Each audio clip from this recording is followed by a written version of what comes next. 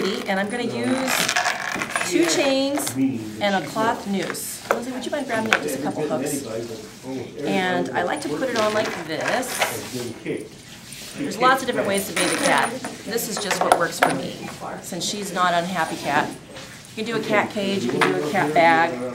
I don't like to do that because I really don't feel like I can get my hands on them enough when I do that, but if it's a safety issue, then definitely I will.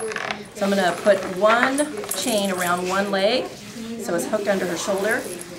And then the last step is a cloth noose around the neck. We're gonna tighten this down like so. Make sure it's not something that slips up really easily. And then we'll see how she does. Come on over.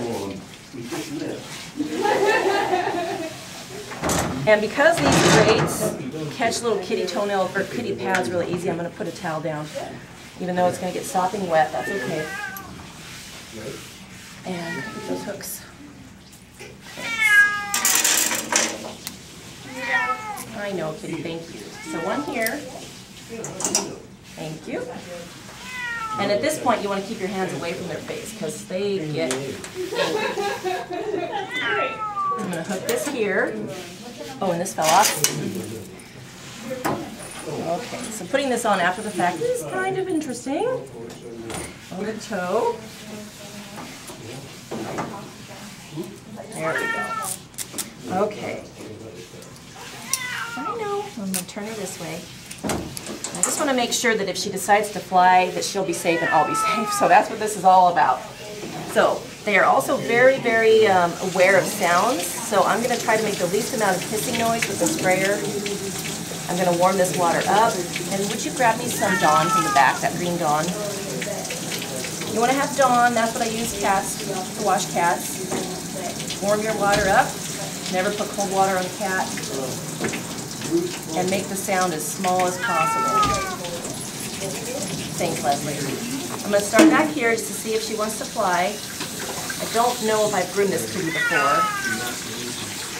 so I don't remember how she is. But keep this as close to the skin as possible, with the least amount of noise as possible.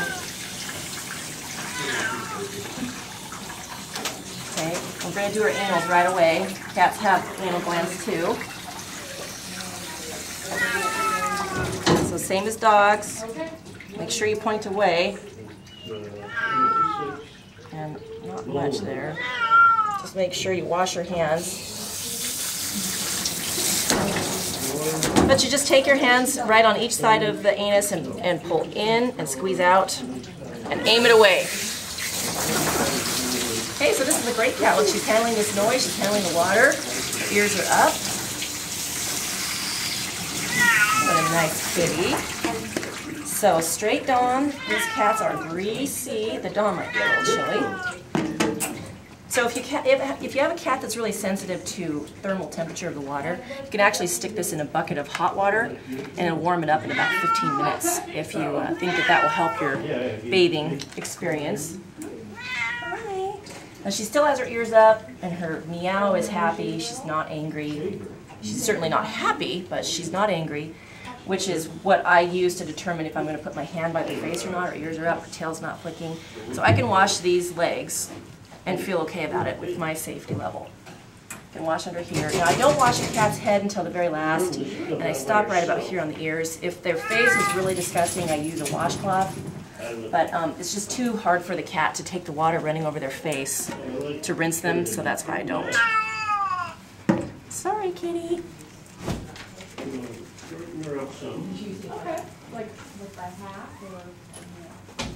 Get a good lather because their skin is greasy.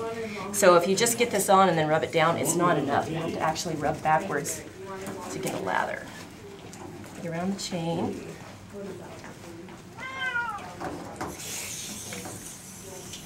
And if this is this kitty's first bath, what a great cat.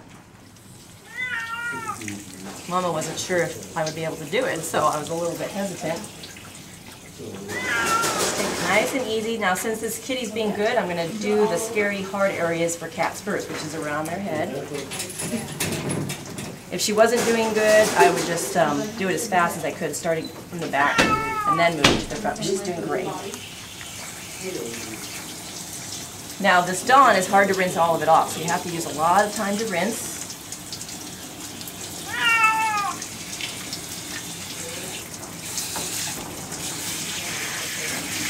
What cat. And because she's doing so good, I'm going to speed it up a little bit.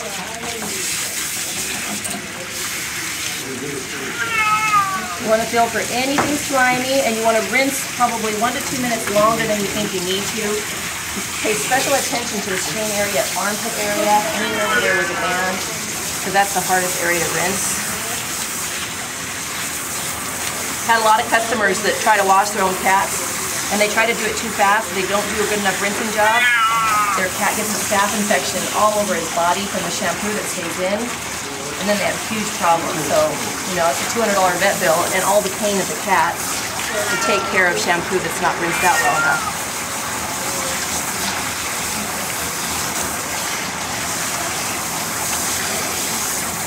Okay, we're almost done. Double wash here, she's doing great. Double check those areas, I'm feeling for anything that's slimy. Everything feels great. And the last check I'm gonna do is just, if you can make it squeak or if your finger gets, slides right over, that's, there's still stuff there. So sometimes you can't make it squeak. There's no bubbles at all. So it's a good indicator. But right down here is where you're gonna have gotten it less than you should have. So double check that. Okay, now I'm gonna take a big fat thick towel. What a nice kitty. Check her ears quick. The ears look great. Well, maybe not. Maybe I will. This is just brown Listerine. Start at the tip. Usually for this, they aren't bad.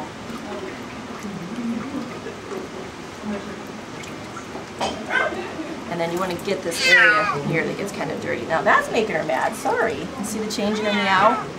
She's kind of indignant about that. Sometimes they're stains, sometimes they're dirt. So if you can't get it off, that's okay. Sorry. Slide this over her head.